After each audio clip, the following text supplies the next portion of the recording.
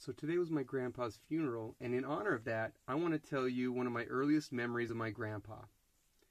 Years ago, when I was a little kid, we went to stay with my grandparents, and in the middle of the night, I heard snoring. I had no idea where it was coming from, so I crept out of bed. I followed the sound down the hall and found out that it was coming out of my grandparents' bedroom. I peeked through the door and I found that the snoring was coming from the bed.